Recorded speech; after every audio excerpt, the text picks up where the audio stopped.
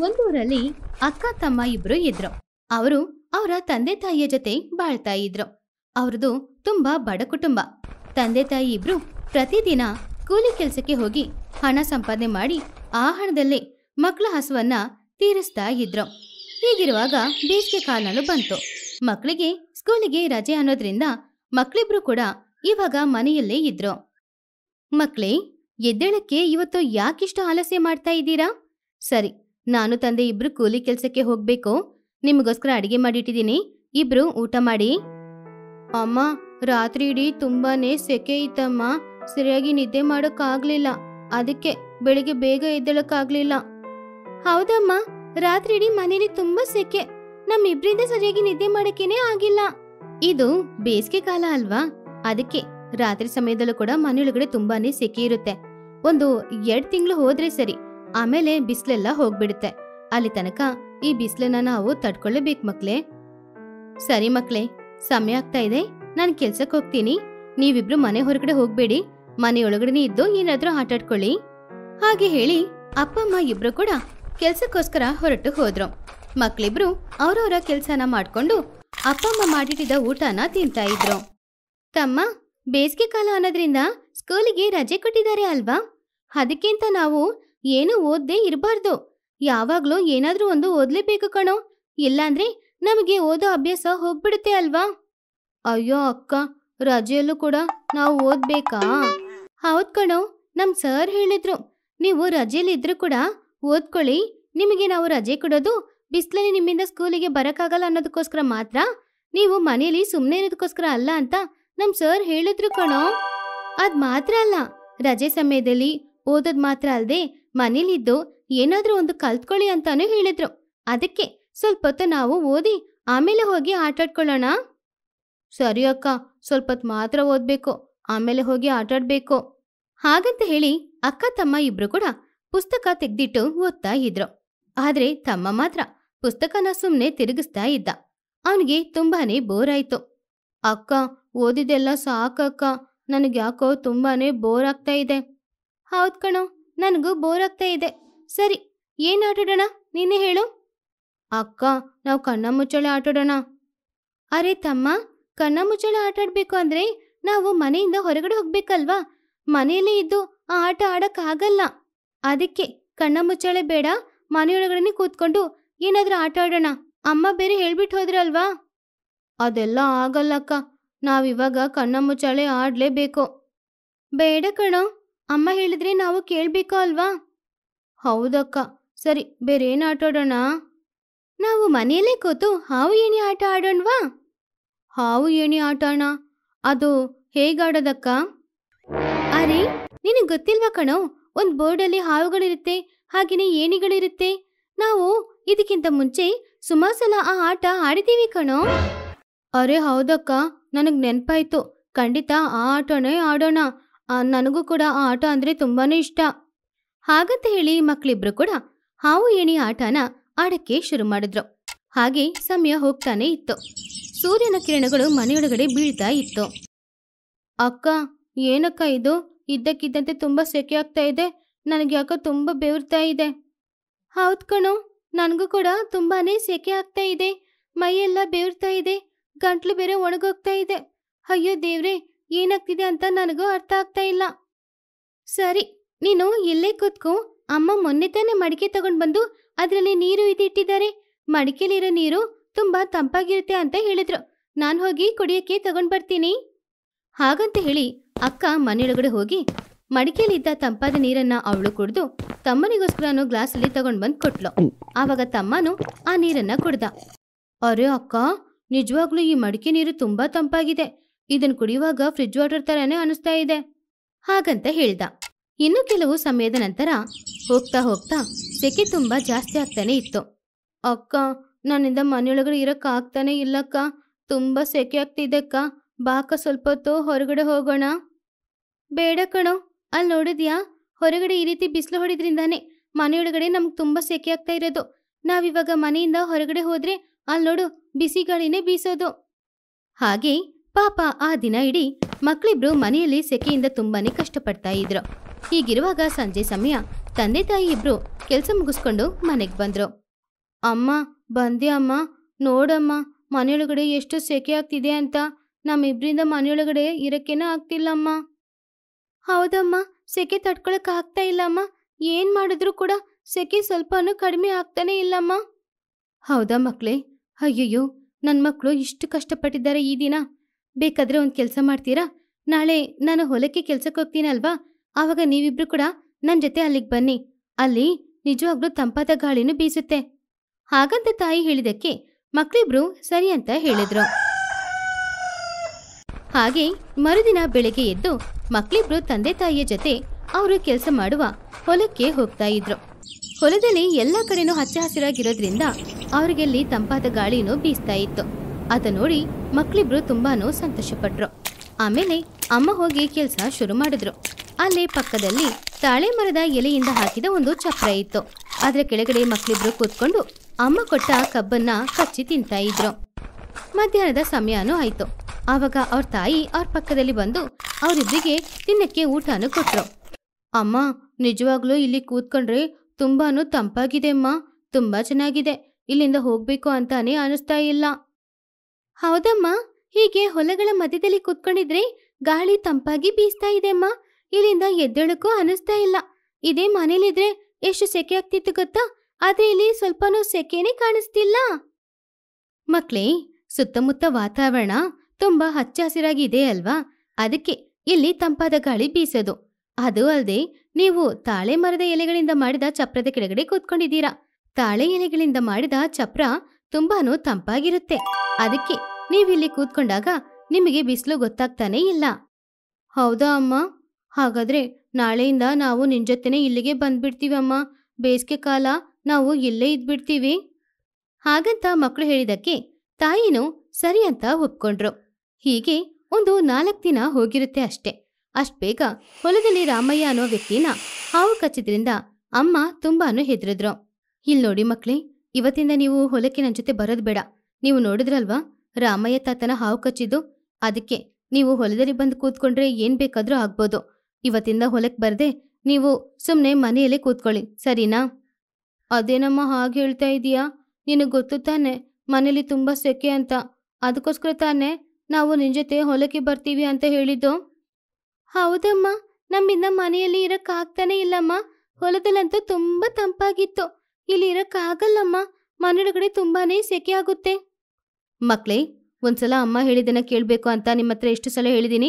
ಪದೇ ಪದೇ ಹೇಳಕ್ಕಾಗಲ್ಲ ನನ್ನಿಂದ ಹೊಲಕ್ಕೆ ಬಂದ್ರೆ ನಿಮ್ಮಿಬ್ಬರಿಗೆ ಅಪಾಯ ಅಂತ ಹೇಳ್ತಾ ಇದ್ದೀನಲ್ವಾ ಪರವಾಗಿಲ್ಲ, ಸೆಕೆ ಇದ್ರೂ ಕೂಡ ಮನೇಲೇ ಇರಿ. ಹೊಲಕ್ಕೆ ಬಂದ್ರೆ ಅಲ್ಲಿ ಏನಾದ್ರೂ ಹಾವು ಗೀವು ಕಚ್ಚಿದ್ರೆ ನಾನೇನ್ ಮಾಡೋದು? ಸರಿ, ನನಗೆ ಕೆಲ್ಸಕ್ಕೆ ಸಮಯ ಆಗ್ತಾ ಇದೆ. ಬಾಯಿ ಮುಚ್ಕೊಂಡು ಮನೇಲೇ ಇರಿ. ಹಾಗಂತ ಸ್ವಲ್ಪ ಕಠಿಣವಾಗಿ ಮಾತಾಡಿ ಅಮ್ಮ ಕೆಲ್ಸಕ್ಕೆ ಹೋದ್ರು. ಅಕ್ಕ ಏನಕ್ಕ ಅಮ್ಮ ನಮ್ಮನ್ನ ಅರ್ಥ ಮಾಡ್ಕೊಳ್ಳದೆ ಮನೆಯಲ್ಲೇ ಇರಿ ಅಂತ ಹೇಳ್ಬಿಟ್ಟು ಹೋಗ್ತಾ ಇದ್ದಾರೆ. ಅಲ್ಲ ಕಣವು ಅಮ್ಮ ನಮ್ಮ ಒಳ್ಳೇದಕ್ಕೋಸ್ಕರನೇ ಹೇಳೋದು. ಸರಿ, ಪರವಾಗಿಲ್ಲ ಬಿಡು. ಇವಾಗ ಮನೆಯೊಳಗಡೆ ಸೆಕೆ ಇರಬಾರ್ದು. ಅಷ್ಟೇ ತಾನೇ? ಅದಕ್ಕೆ ನಾನೇನಾದರೂ ಮಾಡ್ತೀನಿ? ಹಾಗಂತ ಹೇಳಿ ಅಕ್ಕ ಹೋಗಿ ಪೈಪಲ್ಲಿ ನೀರು ಹಿಡ್ಕೊಂಡು ಬಂದು ಮನೆ ಹಂಚಿನ ಮೇಲೆ ಹಾಕ್ತಾ ಇದ್ಲು. ಅಕ್ಕ ಆ ರೀತಿ ಮಾಡೋದನ್ನ ನೋಡಿ ತಮ್ಮ ಕೂಡ ನೀರನ್ನ ಮನೆ ಹಂಚಿನ ಮೇಲೆ ಹಾಕ್ತಾ. ತಮ್ಮ, ಹಂಚು ಮೇಲೆ ನಾನು ನೀರು ಹಾಕಿದ್ದೀನಿ ಅಲ್ವಾ? ಸ್ವಲ್ಪತ್ತಲ್ಲಿ ಮನೆಯೊಳಗಡೆ ಎಲ್ಲ ತಂಪಾಗುತ್ತೆ ನೋಡು. ಏನೋ ಹೇಳ್ತಾ ಇದೀಯಾ ಅಕ್ಕ? ಸ್ವಲ್ಪ ಬಿಟ್ಟು ನೋಡ್ತೀನಿ. ಹಾಗಂತ ಅವರಿಬ್ರು ಆ ದಿನ ಹಿಡಿ ಕಾಯ್ತಾ ಇದ್ರು. ಆದ್ರೆ ಮನೆಯೊಳಗಡೆ ಅಂತೂ ಸೆಕೆ ಸ್ವಲ್ಪನೂ ಕಡಿಮೆ ಆಗ್ಲಿಲ್ಲ. ಅಕ್ಕ, ನಿನ್ ಪ್ಲಾನ್ ಎಲ್ಲ ಫ್ಲಾಪ್ ಆಯ್ತಕ್ಕ. ನೋಡು, ಮನೆಯೊಳಗಡೆ ಇನ್ನೂ ತುಂಬಾನೇ ಸೆಕೆ ಇದೆ. ಹಾಗಂತ ಮಕ್ಳಿಬ್ರು ಮನೆಯೊಳಗಡೆ ಇರುವ ಆ ಸೆಕೆನ ಸರಿ ಮಾಡೋದಕ್ಕೋಸ್ಕರ ಹಲವಾರು ತರದ ಪ್ರಯತ್ನಗಳನ್ನ ಮಾಡ್ತಾನೆ ಇದ್ರು. ಅಕ್ಕ ನಮ್ಮನ್ನ ಕೂಡ ಅಮ್ಮ ಹೊಲಕ್ಕೇನ ಕರ್ಕೊಂಡು ಹೋಗಿರ್ಬೋದು ಅಲ್ವಾ? ಅಲ್ಲಿ ತಾಳೆ ಎಲೆ ಚಪ್ರದ ಕೆಳಗಡೆ ಕೂತ್ಕೊಂಡು ಕಬ್ಬು ತಿಂದ್ಕೊಂಡು ಸಂತೋಷವಾಗಿ ಇದ್ದಿರ್ಬೋದು. ಹೌದು ಕಣೋ. ಹಾಗಂತ ಹೇಳಿ ಅಕ್ಕ, ಏನೋ ಯೋಚನೆ ಮಾಡ್ತಾ ಇದ್ದಾಗ ಅವಳಿಗೊಂದು ಐಡಿಯಾ ಬಂತು. ತಮ್ಮ, ಇವಾಗ ನೀನೇನು ಹೇಳಿದೆ ಹೇಳ್ದೆ? ಅದೇ ಅಕ್ಕ, ಅಲ್ಲಿ ಕೂತ್ಕೊಂಡು ಕಬ್ಬು ತಿಂದ್ರೆ ತುಂಬಾ ಚೆನ್ನಾಗಿರುತ್ತೆ ಅಂತ ಹೇಳಿದೆ. ಅದಲ್ಲ ಕಣೋ, ಅದಕ್ಕಿಂತ ಮುಂಚೆ ಬೇರೆ ಏನೋ ಹೇಳಿದೆ ಅಲ್ವಾ? ಅದು ತಾಳೆ ಚಪ್ರದ ಕೆಳಗಡೆ ಕೂತ್ಕೊಂಡಿದ್ರೆ ತುಂಬಾ ತಂಪಾಗಿರುತ್ತೆ ಅಂತ ಹೇಳ್ದೆ. ಹಾ, ಅಂದ್ರೆ ತಾಳೆ ಚಪ್ರ ಕೆಳಗಡೆ ಕೂತ್ಕೊಂಡ್ರೆ ತಂಪಾಗಿರುತ್ತೆ ಅಲ್ವಾ? ಹೌದಕ್ಕ, ಇವಾಗ ಅದ್ಯಾಕೆ ಹೇಳ್ತಿದೀಯಾ? ಅಲ್ಲ ಕಣೋ, ಅಲ್ಲಿ ಚಪ್ರ ಹಾಕಿದ್ರಲ್ವಾ? ಅದೇ ರೀತಿ ಮನೆ ಹಂಚಿನ ಮೇಲೆ ನಾವು ತಾಳೆ ಎಲೆಗಳನ್ನ ಹಾಕಿದ್ರೆ ಮನೆಯೊಳಗಡೆ ಕೂಡ ತುಂಬಾ ತಂಪಾಗಿರುತ್ತೆ ಅಲ್ವಾ? ಅರೆ ಅಕ್ಕ, ನಿಜವಾಗ್ಲೂ ನೀನ್ ಕೊಟ್ಟ ಐಡಿಯಾ ಚೆನ್ನಾಗಿದೆ ಅಕ್ಕ. ನನ್ಗಂತೂ ತುಂಬಾನೇ ಖುಷಿ ಆಯ್ತು. ಅಮ್ಮ ಬಂದ್ಮೇಲೆ ನಾವ್ ಈ ವಿಷಯ ಹೇಳಿ ಆ ಕೆಲ್ಸನ ಶುರು ಮಾಡೋಣ. ಬಿಸ್ಲಿಂದ ಹೇಗಾದ್ರೂ ತಪ್ಪಿಸ್ಕೊಳ್ಬೋದು. ಹೌದ್ ಕಣು, ಅಮ್ಮ ಬರ್ಲಿ, ಅಮ್ಮನ ಹತ್ರ ಹೇಳಿ ಆ ಕೆಲ್ಸ ಶುರು ಮಾಡೋಣ. ಹಾಗಂತ ಮಕ್ಳಿಬ್ರು ಸಂಜೆ ಅವ್ರ ತಾಯಿ ಮನೆಗ್ ಬರೋ ತನಕ ಕಾಯ್ತಾ ಇದ್ರು. ಅವ್ರ ತಾಯಿ ಮನೆಗ್ ಬಂದ್ಮೇಲೆ ವಿಷಯನ ಹೇಳಿದ್ರು. ಅದಕ್ಕೆ ಅವ್ರ ತಾಯಿ ಕೂಡ ಸರಿ ಅಂತ ಒಪ್ಕೊಂಡ್ರು. ಹಾಗೆ ಆ ದಿನಾನು ಮುಗೀತು. ಮರುದಿನ ಬೆಳಗ್ಗೆ ಅವರೆಲ್ಲರೂ ಕೂಡ ಹೊಲಕ್ಕೆ ಹೋಗಿ ತಾಳೆ ಎಲೆಗಳನ್ನ ಹಂಚಿನ ಮೇಲೆ ತಗೊಂಡ್ ಬಂದು ಹಾಕಿದ್ರು. ಹಾಗೆ ತಾಳೆ ಎಲೆ ಮನೇನ ಕಟ್ಟಿದ್ರು. ಆ ತಾಳೆ ಎಲೆ ಹಾಕದ್ಮೇಲೆ ಮನೆ ತುಂಬಾ ತಂಪಾಗಿರೋದನ್ನ ಅವ್ರೆಲ್ರೂ ಗಮನಿಸ್ತಾ ಇದ್ರು. ಹಾಗೆ ಊರಿನವರು ಎಲ್ರೂ ಕೂಡ ಅವರ ಮನೆಯ ಹಂಚಿನ ಮೇಲೆ ಆ ತಾಳೆ ಎಲೆಗಳನ್ನ ಹಾಕ್ತಾ ಇದ್ರು. ಅಕ್ಕ, ಈ ತಾಳೆ ಎಲೆ ಮನೆಯಿಂದ ಮನೆ ಇವಾಗ ತುಂಬಾ ತಂಪಾಗಿದೆ ಅಲ್ವಾ ಅಕ್ಕ? ನನಗಂತೂ ಈ ಬೇಸಿಗೆ ಕಾಲ ಇಡೀ ಮನೆಯೊಳಗಡೆ ಇದ್ರೂ ಕೂಡ ಯಾವುದೇ ತೊಂದರೆ ಇರಲ್ಲ. ಹೌದ್ ಕಣೋ, ನಾವು ಬೇಸಿಗೆ ಕಾಲ ಮುಗಿಯೋ ತನಕ ಸಂತೋಷವಾಗಿರ್ಬೋದು. ಹಾಗೆ ಮಕ್ಳಿಬ್ರು ಆ ತಾಳೆ ಮರದ ಎಲೆ ಹಾಕಿರುವ ಮನೆಯಲ್ಲಿ ತುಂಬಾ ಸಂತೋಷವಾಗಿ ಬೇಸಿಗೆ ಕಾಲದಲ್ಲಿ ಬಾಳ್ತಾ ಇದ್ರು. ಒಂದು ಊರಿನಲ್ಲಿ ರಂಗಯ್ಯ ಎನ್ನುವ ಬಡವನಿದ್ದ. ಅವನು ತುಂಬಾ ಮುಗ್ಧನಾಗಿದ್ದ. ಆ ಕಾರಣದಿಂದ ಊರಿನ ಜನರೆಲ್ಲ ಎಲ್ಲ ಕೆಲಸವನ್ನು ಅವನಿಂದ ಮಾಡಿಸಿಕೊಳ್ಳುತ್ತಿದ್ದರು. ನನ್ನ ಸರಕುಗಳನ್ನ ಇಳಿಸಕ್ಕೆ ಕೂಲಿ ಜನನ ಹುಡುಕ್ತಾ ಇದ್ದೆ. ಇವಾಗ ಇವನ್ ಬಂದ್ಬಿಟ್ಟಲ್ಲ, ಇವನ್ ಕೈಯಲ್ಲೇ ಕೆಲಸ ಮಾಡಿಸ್ಕೊಂಡ್ರೆ ಕೂಲಿ ಬಾಕಿಯಾಗುತ್ತೆ. ಏ ರಂಗಯ್ಯ, ನೀನು ಇಲ್ಲಿ ಏನು ಮಾಡ್ತಾ ಇದ್ದೀಯಾ? ನಾನು ತುಂಬ ಹೊತ್ತಿಂದ ನಿನ್ನನ್ನೇ ಹುಡುಕ್ತಾ ಇದ್ದೀನಿ. ಜ್ಯೋತಿಷ್ಯ ನೋಡೋರು ಬಂದಿದ್ದಾರೆ. ನಿನಗೂ ಜಾತಕ ನೋಡೋಣ ಅಂದರೆ ನೀನು ಇಲ್ಲಿದ್ದೀಯಾ? ಬಾ ಹೋಗೋಣ. ನಿಮಗೆ ನನ್ನ ಮೇಲೆ ಎಷ್ಟು ಪ್ರೀತಿ ಅಯ್ಯ? ಬನ್ನಿ ಹೋಗೋಣ. ಹಾಗೆ ಅಂತ ಹೇಳಿ ಸೋಮನಾಥನ ಹಿಂದೆ ಹೋದ. ಸೋಮನಾಥ ರಂಗಯ್ಯನನ್ನು ಅವನ ಅಂಗಡಿಯೊಳಗೆ ಕರ್ಕೊಂಡೋದ ಏನಯ್ಯ ಇದು? ಜ್ಯೋತಿಷ್ಯರ ಹತ್ರ ಕರ್ಕೊಂಡೋಗ್ತೀನಿ ಅಂತ ಹೇಳಿದ್ರಿ. ಆದರೆ ನಿಮ್ಮ ಅಂಗಡಿಗೆ ಕರ್ಕೊಬಂದಿದ್ದೀರಾ ಹಾಂ ಆ ಜನನ ನಾನು ಇಲ್ಲೇ ಇರ್ಲಿಕ್ಕೆ ಕೇಳಿದೆ, ಆದರೆ ಅವನು ಹೋಗ್ಬಿಟ್ಟಿದ್ದಾನೆ ಸರಿ ಸರಿ, ಹೇಗೋ ನೀನು ಅಂಗಡಿ ತನಕ ಬಂದ್ಬಿಟ್ಟೆಲ್ಲ, ಈ ಸರ್ಕುಗಳನ್ನ ಇಳ್ಸೋಕ್ಕೆ ಒಂದು ಕೈ ಇಡಿ.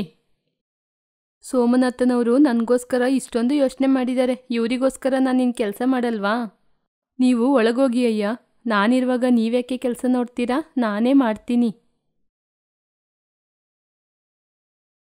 ಸರಿ ರಂಗಯ್ಯ, ಆ ಜ್ಯೋತಿಷ್ಯ ಹೇಳೋನು ಪುನಃ ಬಂದರೆ ನಾನು ನಿನ್ನ ಕರಿತೀನಿ, ಇವಾಗ ಮನೆಗೋಗು ನನಗೆ ತುಂಬ ಹಸಿವಾಗ್ತಿದೆ ಅಯ್ಯ ಸ್ವಲ್ಪ ಊಟ ಕೊಡಿ. ಏನೋ, ಮೂಟೆ ಎತ್ತದೆ ಅಂತ ನಿಂಗೆ ಊಟ ಕೇಳ್ತಾ ಇದ್ದೀಯಾ?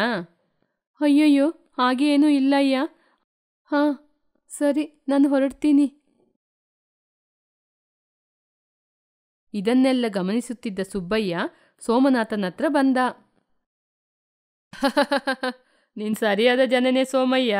ಈ ಮೂಟೆನೆಲ್ಲ ಎತ್ತಕ್ಕೆ ಕೂಲಿ ಜನ ಬಂದಿದ್ರೆ ಹೇಗಾದರೂ ಆರುನೂರು ರೂಪಾಯಿ ಆದರೂ ಕೇಳ್ತಾ ಇದ್ರು. ಆದರೆ ನೀನು ಅವನ್ನ ಇಟ್ಕೊಂಡು ಎಲ್ಲ ಕೆಲಸ ಮಾಡಿಸ್ಕೊಂಡೆ.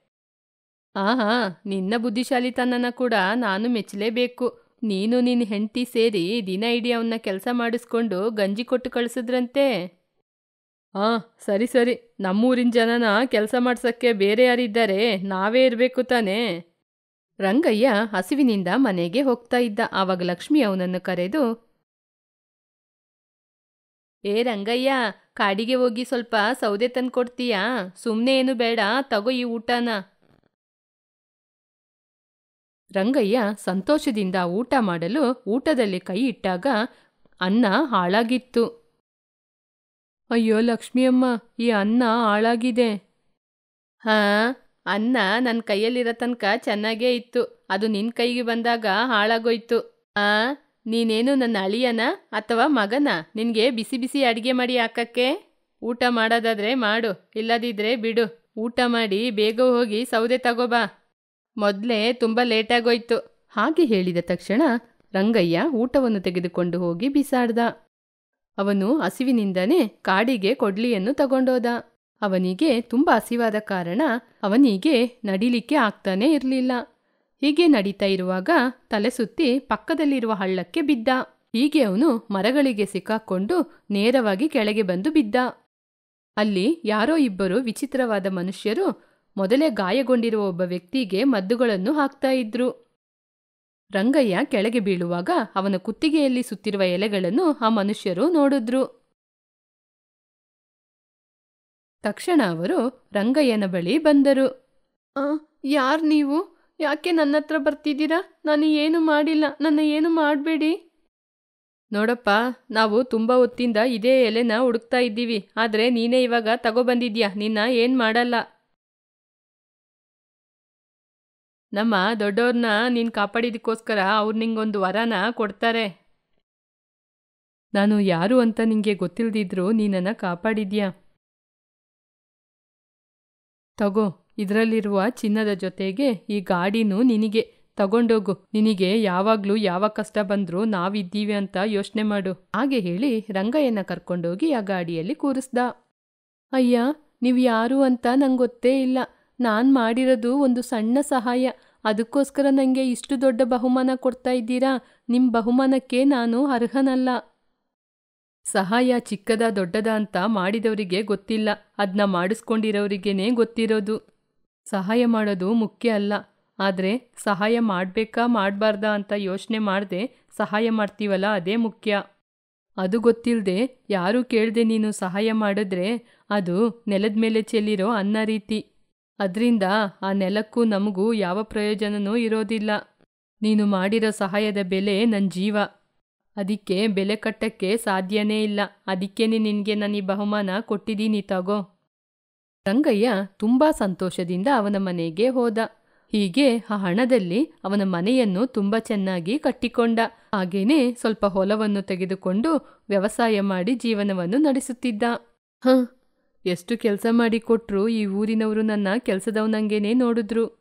ನನಗೆ ಪರಿಚಯನೇ ಇಲ್ಲದವರಿಗೆ ನಾನು ಮಾಡಿರೋ ಒಂದು ಸಣ್ಣ ಸಹಾಯ ನನ್ನ ಇಷ್ಟು ದೊಡ್ಡವನಾಗಿ ಮಾಡಿದ್ದಾರೆ.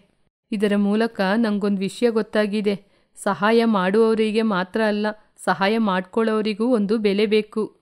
ಸಹಾಯ ಮಾಡೋದಕ್ಕೂ, ಸೇವೆ ಮಾಡೋದಕ್ಕೂ ಸ್ವಲ್ಪನೇ ವ್ಯತ್ಯಾಸ ಇರೋದು. ಆದರೆ ಅದನ್ನ ಕಂಡಿಡಿದ್ರೆ ಮಾತ್ರ ಕಷ್ಟಪಡೋರಿಗೆ ಸಹಾಯ ಮಾಡೋಕ್ಕಾಗೋದು. ಅಂದಿನಿಂದ ರಾಮಯ್ಯ ಹೀಗೆ ಸಹಾಯ ಕೇಳೋರನ್ನು ಬಿಟ್ಟು ಅವನ ಸಹಾಯ ಯಾರಿಗೆ ಬೇಕು ಅನ್ನಿಸುತ್ತೋ ಅವರಿಗೆ ಮಾತ್ರ ಸಹಾಯ ಮಾಡ್ತಿದ್ದ. ಅವನಿಗೆ ಇಷ್ಟೊಂದು ಐಶ್ವರ್ಯವನ್ನು ಕೊಟ್ಟ ಜನಗಳನ್ನು ಮಾತ್ರ ಅವನು ಆವಾಗವಾಗ ಹೋಗಿ ನೋಡಿ ಬರ್ತಿದ್ದ. ಹೀಗೆ ರಂಗಯ್ಯ ಊರಿನವರ ಕೈಯಲ್ಲಿ ಆಟಿಕೆ ಗೊಂಬೆಯಾಗಿದ್ದ ಅವನು ಅವನ ಬುದ್ಧಿಯನ್ನು ಉಪಯೋಗಿಸಿ ಬುದ್ಧಿವಂತನಾಗಿ ಜೀವನ ನಡೆಸ್ದ. ಅಮ್ಮ, ಬರ್ತಾ ಇರೋದು ಮಳೆಕಾಲ ಅಲ್ವಮ್ಮ. ಈ ಮಳೆಗೆ ನಮ್ಮ ಮನೆ ತಡಿಯೋದಿಲ್ಲಮ್ಮ. ಏನಾದರೂ ಮಾಡಿ ನಾವು ಈ ಮನೇನ ಸರಿ ಮಾಡಬೇಕಮ್ಮ. ಇಲ್ಲದಿದ್ರೆ ನಾವು ಮನೇಲಿದ್ರೂ ಹೊರಗಿದ್ರೂ ಒಂದೇ ರೀತಿ ಇರುತ್ತೆ. ಆ, ಹೌದಮ್ಮ. ಮೊದಲೇ ಮಳೆ ಬರ್ತದೆ ಅಂತ ಹೇಳ್ತಾ ಇದ್ದಾರೆ. ಇವಾಗಲೇ ನಾವು ಎಚ್ಚರ ತಗೊಳ್ಳೋದಿದ್ರೆ ಮುಂದೆ ತುಂಬ ಕಷ್ಟ. ಹಾ, ನಾನು ನಿಮಗೆ ಅಮ್ಮ ಮಕ್ಕಳ, ನಿಮಗಿರೋ ಕಷ್ಟ ಏನು ಅಂತ ನನಗೂ ಗೊತ್ತಾಗುತ್ತೆ ಅಲ್ವಾ? ನಿಮ್ಮನ್ನೆಲ್ಲ ಕಾಪಾಡೋದು ನನ್ನ ಜವಾಬ್ದಾರಿ. ಆದರೆ ಅಂಚು ಬದಲಾಯಿಸೋಕ್ಕೆ ದುಡ್ಡು ಬೇಕಲ್ವಾ? ದುಡ್ಡಿಗೋಸ್ಕರ ನಾನು ಎಲ್ಲರ ಜೊತೆನೂ ಕೇಳ್ತಾನೇ ಇದ್ದೀನಿ. ಆದರೆ ಇವತ್ತು ಕೊಡ್ತೀನಿ, ನಾಳೆ ಕೊಡ್ತೀನಿ ಅಂತ ಹೇಳ್ತಾರೆ ಹೊರ್ತು ನಮ್ಮ ಮುಖ ನೋಡಿ, ಬಡತನ ನೋಡಿ ಯಾರೂ ಕೊಡ್ತಾನೇ ಇಲ್ಲ. ನಾನು ಹೇಗಾದರೂ ಮಾಡಿ ಸ್ವಲ್ಪ ದುಡ್ಡನ್ನ ರೆಡಿ ಮಾಡ್ತೀನಿ. ಹೀಗೆ ಎರಡು ಮೂರು ದಿನ ಕಳೀತು. ಹೊಲದಲ್ಲಿ ಕೆಲಸ ಮಾಡ್ತಿರೋ ರಾಧಿಕನ ಹತ್ರ ಬೇಗ ಓಡಿ ಬಂದ ಬಾಲು. ಯಾಕೋ ಇಷ್ಟು ವೇಗವಾಗಿ ಬರ್ತಾ ಇದ್ದೀಯಾ? ನಿಧಾನವಾಗಿ ಬರ್ಬೋದಾಗಿತ್ತಲ್ವಾ? ನಿಧಾನವಾಗಿ ಬರಲಿಕ್ಕೆ ಎಲ್ಲಿದೆಯಮ್ಮ ಟೈಮು? ಇವಾಗಷ್ಟೇ ಟಿ ವಿಯಲ್ಲಿ ನ್ಯೂಸ್ ನೋಡ್ಕೊ ಬಂದೆ. ಇವತ್ತು ರಾತ್ರಿನೇ ತುಂಬ ಜೋರು ಮಳೆ ಬರ್ತದಂತೆ. ಹಾಗೆ ಮಳೆ ಬಂದರೆ ನಮ್ಮ ಮನೆಯೊಳಗೆಲ್ಲ ನೀರು ತುಂಬಿ ಬಾವಿಯಾಗ್ಬಿಡ್ತದೆ. ಹಾಂ ಟಿ ವಿಯಲ್ಲಿ ಮಳೆ ಬರ್ತದೆ ಅಂತ ಹೇಳಿದ್ರಾ? ಹಾಂ, ಹಾಗಾದ್ರೆ ಬಿಡು, ಮಳೆ ಬರುತ್ತೆ. ನೀನು ಸುಮ್ಮ ಸುಮ್ಮನೆ ಏನೋ ಕಾರಣ ಹೇಳ್ಕೊಂಡು ಸುತ್ತಾಡಬೇಡ. ಹೊಲದಲ್ಲಿ ಕೆಲಸ ಇದೆ, ಬಾ ಬಂದು ಕೆಲಸ ಮಾಡು. ಹಾಂ ಸರಿ ಸರಿ. ಇವಾಗ ಅವನು ಹೇಳ್ದಾಗೇನೆ ಮಳೆ ಬಂದರೂ ಬರ್ಬೋದು. ಆದರೆ ಇವಾಗ ನಮಗೆ ಮನೆ ಅಂಚನ್ನ ಸರಿ ಮಾಡಲಿಕ್ಕೆ ದುಡ್ಡು ಎಲ್ಲಿದೆ ಕಣೋ? ಇವಾಗ ನಾವು ಹೋಗಿ ರಮಣ ಚಿಕ್ಕಪ್ಪನ ಜೊತೆ ಅಥವಾ ಲಕ್ಷ್ಮೀ ದೊಡ್ಡಮ್ಮನ ಜೊತೆ ಅವ್ರ ಮನೇಲಿ ಇರಲಿಕ್ಕೆ ಸ್ವಲ್ಪ ದಿನ ಕೇಳಿ ನೋಡೋಣ. ಅದನ್ನ ಬಿಟ್ಟರೆ ನಮಗೆ ಬೇರೆ ದಾರಿನೇ ಇಲ್ಲ. ಹ್ಞೂ ಯಾಕಮ್ಮ? ಸುಮ್ಮ ಸುಮ್ಮನೆ ಅವ್ರಿವ್ರ ಮನೇಲಿ ಇರಲಿಕ್ಕೆ ಜಾಗ ಕೇಳೋದು ನಮ್ಮನೇನೆ ನಾವು ಸರಿ ಮಾಡಿಕೊಂಡ್ರೆ ನಮ್ಮನೇಲೇ ಇರ್ಬೋದಲ್ವಾ? ಬಾಲು ಏನೋ ಮಾತಾಡ್ತಾ ಇದ್ದೀಯಾ? ಇವಾಗ ತಾನೇ ನಮ್ಮ ಮನೆ ಸರಿ ಇಲ್ಲ ಅಂತ ಹೇಳ್ದೆ. ಇವಾಗ ಮತ್ತೆ ನಮ್ಮನೇಲೇ ಇರಬೇಕು ಅಂತಿದ್ದೀಯಾ? ನಿನಗೇನೋ ಆಯಿತು? ಅಕ್ಕ ನೀನು ಸ್ವಲ್ಪ ಹೊತ್ತು ಸುಮ್ಮನೆ ಇರ್ತೀಯಾ? ಅಮ್ಮ ನಾನು ಇವಾಗಷ್ಟೇ ಯೂಟ್ಯೂಬಲ್ಲಿ ಒಂದು ನೋಡಿದೆ. ಬಿಸಿಲು ಕಾಲದಲ್ಲಿ ಬಿಸಿಲನ್ನ ತಪ್ಪಿಸ್ಕೊಳ್ಳೋಕ್ಕೆ ಹುಲ್ಲಲ್ಲಿ ಮನೆ ಮಾಡ್ತಾ ಇದ್ರು. ನಾವೂ ಇವಾಗ ಮಳೆಯಿಂದ ತಪ್ಪಿಸ್ಕೊಳ್ಳೋಕ್ಕೆ ಅದೇ ರೀತಿ ಮನೆ ಮಾಡೋಣ. ಏನು ಹೇಳ್ತೀರಾ? ಆ? ಮಳೆಗಾಲದಲ್ಲಿ ಹುಲ್ಲಿನ ಮನೆನಾ? ನಿನಗೇನಾದರೂ ಹುಚ್ಚಿಡ್ದಿದ್ಯಾನೋ ಅಕ್ಕ, ನಿನಗೆ ಇದಕ್ಕಿಂತ ಬೇರೆ ಒಳ್ಳೆ ಐಡಿಯಾ ಗೊತ್ತಿದ್ಯಾ? ಗೊತ್ತಿದ್ರೆ ಹೇಳು. ಇಲ್ಲದಿದ್ರೆ ಸುಮ್ಮನೆ ಬಾಯಿ ಮುಚ್ಕೊಂಡು ನಿಂತ್ಕೋ. ಅಮ್ಮ, ನಾನು ಹೇಳೋದ್ನೇ ಕೇಳಮ್ಮ. ನಾವು ಇದೇ ರೀತಿ ಮನೆ ಮಾಡೋಣ. ರಾಧಿಕನ್ ಜೊತೆನೂ ಯಾವ ಐಡಿಯಾ ಇಲ್ಲದೆ ಇರೋ ಕಾರಣ ಹೀಗೆ ಮನೆ ಕಟ್ಟಲಿಕ್ಕೆ ಅವಳು ಒಪ್ಕೊಂಡ್ಲು ಹಾಂ, ಸರಿ. ನೀವು ಹೋಗಿ ಹೊಲದಲ್ಲಿ ಹುಲ್ನ ಕಿತ್ಕೋತಾ ಇರಿ. ನಾನಿವಾಗ ಬರ್ತೀನಿ. ಹಾಗೆ ಅಂತ ಹೇಳಿ ರಮಣನ ಮನೆಗೆ ಹೋದ್ಲು. ರಮಣ ನನ್ನ ಮನೆ ಕಷ್ಟ ನಿನಗೆಲ್ಲ ಗೊತ್ತು ಅಲ್ವಾ? ಇವಾಗ ಮಳೆ ಬೇರೆ ಸ್ಟಾರ್ಟ್ ಆಗ್ತಾ ಇದೆ. ಮಳೆ ಬರುವಾಗ ನಾವೆಲ್ಲ ನಿಮ್ಮ ಮನೆಗೆ ಬರ್ಬೋದಾ? ಮಳೆಕಾಲದಲ್ಲಿ ಮನೆನ ಸರಿ ಮಾಡೋದಿದ್ರೆ ಹೇಗೆ ಅತ್ತಿಗೆ? ನನ್ನ ಮನೆಗೆ ನನ್ನ ಅಳಿಯ ಬೇರೆ ಬರ್ತೀನಿ ಅಂತ ಹೇಳಿದಾನೆ. ನೀವು ಬಂದಾಗ ಅವನಿಗೆ ಸಂಕೋಚವಾಗಿರುತ್ತೆ ಅಲ್ವಾ? ಹಾಂ ಸರಿ, ಹಾಗೆ ಅಂತ ಹೇಳಿ ಲಕ್ಷ್ಮಿ ಮನೆಗೆ ಹೋದ್ಲು. ಅಕ್ಕ, ಇವತ್ತು ನಿನ್ನ ಮನೇಲಿ ಉಳ್ಕೊಳ್ಳೋಕ್ಕೆ ಸ್ವಲ್ಪ ಜಾಗ ಕೊಡ್ತೀಯ ಅಕ್ಕ? ಹಾಂ. ಏನ್ ರಾಧಿಕಾ, ಮೈನ ಮಾತ್ರ ನೋಡ್ಕೊಂಡಿದ್ರೆ ಸಾಲ್ದು, ಸ್ವಲ್ಪ ಮನೆನೂ ನೋಡಬೇಕು. ಸುಮ್ಮನೆ ಊಟ ಮಾಡ್ಕೊಂಡಿದ್ರೆ ಆಗುತ್ತಾ? ಮನೆ ಕಟ್ಟಕ್ಕೆ ಏನಾದರೂ ಏರ್ಪಾಡು ಮಾಡೋದಲ್ವಾ? ಹಾಗಾದ್ರೆ ನಾವೆಲ್ಲ ಮನೆ ಕಟ್ಟಿರೋದು ಸುಮ್ಮನೆನಾ ನಿನ್ನ ರೀತಿ ಇದ್ದೋಗ್ಬಿಟ್ಟಿದ್ರೆ ನಮಗೂ ಇದೇ ಗತಿನೇ ಬರೋದು. ಯಾರು ಸಹಾಯಕ್ಕೆ ಮಾತ್ರ ಬರದಿಲ್ಲ. ಬುದ್ಧಿ ಹೇಳಕ್ಕೆ ಮಾತ್ರ ಎಲ್ಲರೂ ಬಂದ್ಬಿಡ್ತಾರೆ. ಬುದ್ಧಿ ಹೇಳೋದು ಮಾತ್ರನೇ ಅವ್ರ ಕೆಲಸ ಅಲ್ವಾ? ಅದಕ್ಕೇನೆ. ಹಾಗೆ ಹೇಳ್ಕೊಂಡು ಹೊಲದತ್ರ ಬಂದ್ಲು. ಹೊಲದತ್ರ ಮಕ್ಕಳಿಬ್ರು ಸೇರ್ಕೊಂಡು ತುಂಬ ಹುಲ್ಲುನ ಕಿತ್ತು ಗುಡ್ಡೆ ಹಾಕಿದ್ರು. ಹಾಂ, ಅಷ್ಟು ಬೇಗ ಇಷ್ಟು ಕೆಲಸ ಮಾಡಿಬಿಟ್ರ ಮಕ್ಕಳಾ ಸರಿ, ಈ ಹುಲ್ಲನ್ನ ನನ್ನ ತಲೆ ಮೇಲೆ ಎತ್ತಿ ಇಡಿ, ನಾನು ತಗೊಂಡೋಗ್ತೀನಿ. ಹೀಗೆ ಅವಳು ಹೇಳಿದ ತಕ್ಷಣ ಮಕ್ಕಳು ಅವರ ಅಮ್ಮನ ತಲೆ ಮೇಲೆ ಸ್ವಲ್ಪ ಹುಲ್ಲು ಇಟ್ಬಿಟ್ಟು ಅವರು ಸ್ವಲ್ಪ ಸ್ವಲ್ಪ ಹುಲ್ಲನ್ನು ತಗೊಂಡು ಮನೆ ಕಡೆ ಬಂದರು. ಮನೆ ಹತ್ರ ಬಂದು ಇಬ್ಬರೂ ಸೇರಿಕೊಂಡು ಎಲ್ಲ ಹುಲ್ಲುಗಳನ್ನ ತೆಗೆದು ಅಂಚು ಮೇಲೆ ಸ್ವಲ್ಪ ಸ್ವಲ್ಪ ಜೋಡಿಸಕ್ಕೆ ಪ್ರಾರಂಭ ಮಾಡಿದ್ರು. ಹೀಗೆ ತುಂಬ ಹೊತ್ತಾಯಿತು. ಸ್ವಲ್ಪ ಸಮಯದ ನಂತರ ಸ್ವಲ್ಪ ಸ್ವಲ್ಪ ಮಳೆ ಬರಲಿಕ್ಕೆ ಪ್ರಾರಂಭವಾಯಿತು. ಅಕ್ಕ ಟಿವಿಯಲ್ಲಿ ಮಳೆ ಬರ್ತದೆ ಅಂತ ಹೇಳಿದಾಗ ಮಳೆ ಬರಲ್ಲ ಅಂತ ಹೇಳಿದೆ, ಇವಾಗ ನೋಡ್ದಾ? ಯಾವಾಗ್ಲೋ ಒಂದ್ಸಲ ಹಾಗೆ ಆಯಿತು ಅಂತ ಯಾವಾಗಲೂ ಆಗುತ್ತೆ ಅಂದ್ಕೊಂಡ ಹಾಂ? ನಾನು ಯಾವಾಗ್ಲೋ ಹೇಳಿದೆ ಅಂತ ಅದನ್ನ ನೀನು ಇವಾಗ ಹೇಳಿ ತೋರಿಸ್ತಾ ಇದ್ದೀಯಾ? ಹೇಳೋದನ್ನ ಬಿಟ್ಬಿಟ್ಟು ಸುಮ್ಮನೆ ಕೆಲಸ ಮಾಡು. ಹೀಗೆ ಮೂರು ಜನ ಸೇರಿ ಮಳೆಯನ್ನು ಕೂಡ ಲೆಕ್ಕಿಸದೆ ಮಳೆಯಲ್ಲಿ ನೆನ್ಕೊಂಡು ಅಂಚು ಮೇಲೆ ಎಲ್ಲ ಹುಲ್ಲುಗಳನ್ನು ಜೋಡಿಸಿ ಮನೆಯನ್ನು ಸರಿ ಮಾಡಿದ್ರು. ಆ ನಂತರ ಮನೆಯೊಳಗೆ ಹೋಗಿ ನೋಡಿದಾಗ ಎಲ್ಲಿಯೂ ಮಳೆ ನೀರು ಬೀಳ್ತಾ ಇರಲಿಲ್ಲ. ಹಾಂ, ಇದು ಅಲ್ವಮ್ಮ, ನಾವು ಆಸೆ ಪಟ್ಟಿರೋ ಮನೆ. ಇವಾಗಕ್ಕೆ ಈ ಮನೆ ಪರವಾಗಿಲ್ಲ, ಆದರೆ ಯಾವಾಗಲೂ ಇದೇ ರೀತಿ ಮಳೆ ಆಗ್ತಾ ಇದ್ರೆ ಈ ಮನೆ ನಿಲ್ಲುತ್ತೋ ಏನೋ ಗೊತ್ತಿಲ್ಲ. ಯಾಕಂದ್ರೆ ಇದು ಹುಲ್ಲಲ್ವಾ, ಒಡಿಯೋ ಮಳೆಗೆ ಜಾರಿ ಹೋಗುತ್ತೆ. ಅಮ್ಮ, ಇವಾಗಕ್ಕೆ ಚೆನ್ನಾಗಿದೆ ತಾನೇ. ಆಮೇಲೆ ನೀನು ಹೇಳ್ದಂಗೆ ಆದ್ರೆ ಆ ಕತೆನ ಆಮೇಲೆ ನೋಡ್ಕೊಳ್ಳೋಣ. ಇರೋ ಸ್ವಲ್ಪ ಹೊತ್ತಾದರೂ ನೆಮ್ಮದಿಯಾಗಿ ಇರೋಣ. ಹಾಗೆ ಅಂತ ಹೇಳಿ ಬಾಲು ಹೋಗಿ ತನ್ನ ತಾಯಿ ಮಡಿಯಲ್ಲಿ ಮಲ್ಕೊಂಡ.